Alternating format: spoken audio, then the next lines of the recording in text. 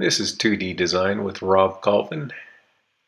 For this video I'm covering our first assignment where we will create these six images which illustrate shape with repetition and contrasts.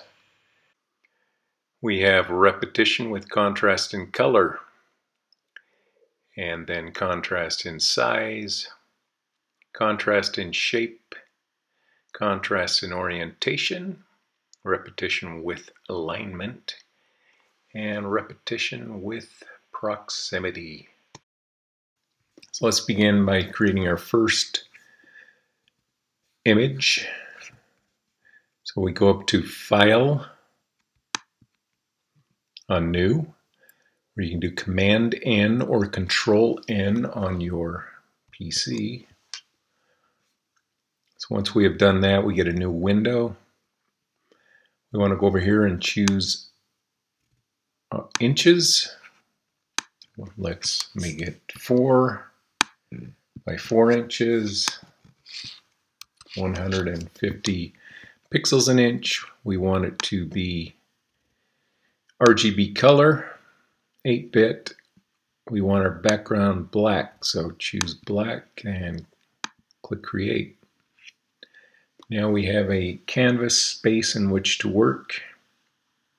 We are going to do repetition of a shape.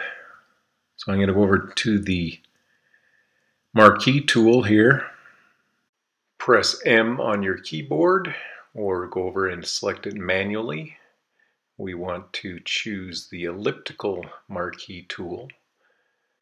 Now if you click and drag you get various sizes of ellipses. We don't want that. We want a perfect circle, so press shift and hold, click and drag, and you get a circle that is perfect. Now we want to fill that circle with color.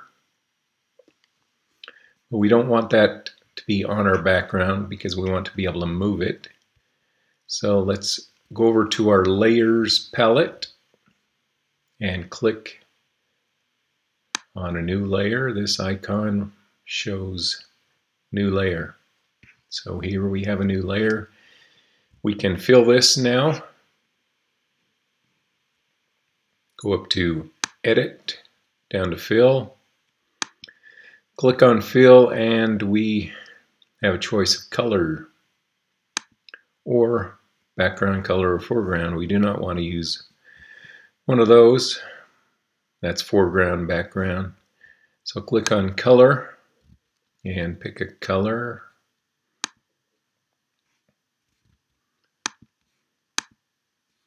And click OK and it is filled with a color. Okay, so let's say we didn't like that color and we wanted to go back. Command Z is your friend. If you want to step back, if you want to go back forward, do Command Z, it'll step forward. Let's say I wanted to keep going back. I do Option Command Z. So on your PC, it's Alt Control Z. So Control Z will step back on your PC. So remember, Command Z will step back or step forward. Option Command Z will keep stepping back. Alt Control Z on the PC. We want to get rid of this marquee line around our shape. Easy way to do that as long as you are in the marquee tool is to click on the outside. Another way to get rid of the marquee line is do Command D, that's D as in deselect, or Control D on your PC. We are going to repeat this shape because we are doing repetition. Let's go over and grab our Move tool. It's up here at the top. Or press V on your keyboard. V for Move tool. Okay, there's several ways we can copy this image. We can do Command A, where we select the whole layer. And then we do Command C. So C for copy, that was Command A for A is an apple. Command C is in copy, that's Control A and Control C on a PC, and Command V for paste, or Control V That's V as in victory for paste. Now we have another layer. We can grab that and move it. Another way to copy a layer is to press Option on your keyboard or Alt on your PC. See how we get the double arrow there? So if you're on that shape, you will press Option or Alt, click and drag, and it copies the shape you just did. So that's an easy way to do it. Another way to copy a layer is do Command J or Control J on your PC and you will have a duplicate layer. So I have two layers right here. They're directly on top of each other. So I grab my move tool. I can move these shapes around. The reason I can just grab each shape specifically is because auto select up here is checked. If that is not checked, the only layer I can move is this layer that is selected. So if I want to grab that, it's not going to do it. If I want to grab that, so I'd have to specifically select the layer to grab it. So what I want to do is have auto selects checked and that will help me to move things around more easily. So remember I'm doing repetition. If I press Alt or on my PC or Option on my Mac, I can grab a shape and copy it. I can press Option again or Alt and do make another copy.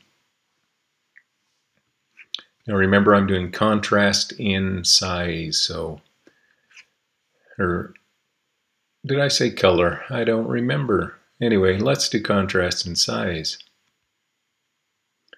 So I'm going to choose the elliptical tool again, and it's contrast in size, so I will make another circle. So click, I forgot to push down shift, press down shift, click and drag and I get a perfect circle. Now that we have a larger circle, we want to fill that with color, but we do not want to do it on the same layer as a smaller circle. So you see if we fill that now, it would be on the same layer as that small one. So go over to the Layers palette and click on the layer icon. And we have a new layer. Go up to Edit, down to Fill, the color in the queue will be the same as what we have already chosen, so click OK. You do Command D or Control D to deselect. And press V for your move tool. And now we have contrast in size. So whenever we have a repetition, we want variety. Of course, the only variety we're getting here is contrast in size, but we can also get another kind of variety with distances between shapes and some shapes going off the frame. So I'm trying to get a composition that I like. So now we have our contrast in size, repetition with contrast in size. So I'm going to go to File, and I am going to save as. So type in contrast dash size. We want to save it as a PSD, that is a Photoshop file because we have layers. So click save and OK, and now we have saved it. Now we want to flatten it and save it as a JPEG. So a quick way to flatten it is select the top layer, press shift and click the bottom layer and do command E and that will flatten it. I'm going to step backwards, command Z, Z is in zebra, And then I'll show you another way to flatten it. Go to Layers, go all the way down and flatten image. Now we want to save it as a JPEG, save as. So we'll go to this option here, go down to JPEG, see it as a JPEG now, click save, save it as the maximum quality because it is a tiny file anyway let's keep it that so we have a final finished image for contrast in size which we will copy and paste into our future image